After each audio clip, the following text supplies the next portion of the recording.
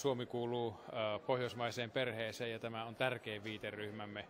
Puhuttiinpa sitten, sitten kaupasta tai ulkopolitiikasta tai puolustusyhteistyöstä tai, tai mistä tahansa politiikan alueesta. Tämä on Suomelle erittäin tärkeää.